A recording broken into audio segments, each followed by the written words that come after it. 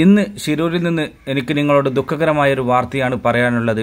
നമ്മുടെ അർജുന് വേണ്ടിയുള്ള തിരച്ചിലിന് വേണ്ടി നമ്മുടെ ഈശ്വർ മാൽപ്പെ ഇന്ന് ശിരൂരിൽ എത്തിയിരുന്നു. അങ്ങനെ അദ്ദേഹം തിരച്ചിലിന് വേണ്ടി നദിയിലേക്ക് ഇറങ്ങുന്ന സമയത്ത് കർണാടക പോലീസ് വന്ന് അദ്ദേഹത്തെ തടഞ്ഞു എന്നൊരു ദുഃഖകരമായൊരു വാർത്തയാണ് നിങ്ങളോട് എനിക്ക് പറയാനുള്ളത്. കർണാടക പോലീസ് അതിന് പറയുന്നത് അനുമതിയില്ലാതെ തിരച്ചിൽ നടത്താൻ സാധ്യമല്ല. അനുമതി കിട്ടിയതിന് ശേഷം മാത്രം നടത്തിയാൽ മതി എന്നാണ് പറയുന്നത്. ഇന്നലെ താൽക്കാലികമായി തിരച്ചിൽ നിർത്തിവെച്ചിരുന്നു. ഇനി- ഡ്രഡ്ജർ എത്തിയതിന് ശേഷം മാത്രം തിരച്ചിൽ നടത്തിയാൽ മതി എന്നാണ് അവരുടെ തീരുമാനമുള്ളത്. അതുകൊണ്ട് തന്നെ ഇനി ഡ്രഡ്ജർ എത്തിയതിന് ശേഷം മാത്രമേ ഇനി തിരച്ചിൽ ഉണ്ടാവുകയുള്ളൂ എന്നാണ് തോന്നുന്നത്.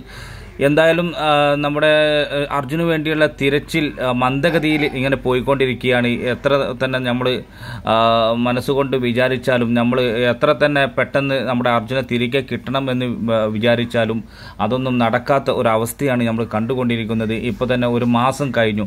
ഒരു മാസം കഴിഞ്ഞിട്ട് പോലും നമ്മുടെ അർജുനെ ഒന്ന് കണ്ടെത്താൻ പോലും അല്ലെങ്കിൽ അർജുന്റെ അർജുൻ ഓട്ടിയിരുന്ന ആ ലോറി ഒന്ന് കണ്ടെത്താൻ പോലും ഈ നിമിഷം വരെ സാധിക്കാത്ത ഒരു ദുഃഖകരമായ ഒരു അവസ്ഥയാണ്.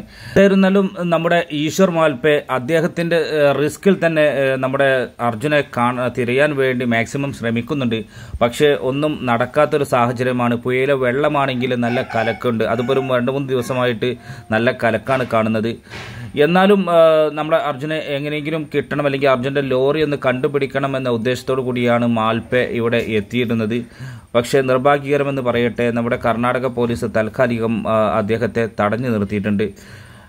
ഏതായാലും ഇനി ഇവിടെ നിന്ന് അങ്ങോട്ട് എന്താണ് സംഭവിക്കുക എന്ന് നമുക്ക് തന്നെ പറയാൻ പറ്റില്ല. നമ്മുടെ കേരളത്തിൽ ആണെങ്കിൽ അല്ലെങ്കിൽ ഇപ്പം വയനാട്ടിലൊക്കെ വലിയൊരു ഉരുൾപൊട്ടലൊക്കെ ഉണ്ടായിട്ട് അവിടുത്തെ നമ്മുടെ കേരളത്തിലെ എല്ലാ ജനങ്ങളും ഒറ്റക്കെട്ടായിക്കൊണ്ട് അതിനെ നേരിട്ട് അതിനു വേണ്ട എല്ലാ വിധ സഹായങ്ങളും ചെയ്ത് നമ്മുടെ ഒരു പ്രിയ സഹോദരൻ കർണാടകയിൽ മിസ്സായി ഈ ഒരു മാസം കഴിഞ്ഞിട്ടും ഇതുവരെ കണ്ടെത്താൻ സാധിച്ചിട്ടില്ല.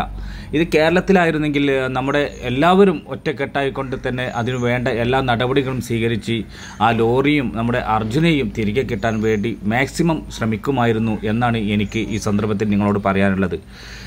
എന്തായാലും നമ്മുടെ അർജുന ഇനിയെങ്കിലും ഒന്ന് കിട്ടട്ടെ എന്ന് നമുക്ക് പ്രാർത്ഥിക്കാം. കാരണം ഇനിയിപ്പോൾ എന്നാണ് ഡർജറി എത്തുക എന്ന് പറയാൻ പറ്റില്ല. അതിനെക്കുറിച്ച് ഞാൻ കുറച്ച് മുമ്പ് വീഡിയോ ചെയ്തതിൽ പറഞ്ഞിരുന്നു. അത് ഗോവയിൽ നിന്നാണ് വരാനുള്ളത്. അത് ഗോവയിൽ നിന്ന് കൊണ്ടുവരണമെങ്കിൽ തന്നെ ഒരുപാട് പ്രയാസമുള്ളത് കൊണ്ട് തന്നെ നമ്മുടെ ഈ അപകടം സംഭവിച്ചതിന് കുറച്ച് താഴെ നദിക്ക് കുറുകയായിട്ട് ഒരു പാലമുണ്ട്. ആ പാലത്തിലൂടെ അത് കൊണ്ടുവരാൻ തന്നെ പ്രയാസമാണ്.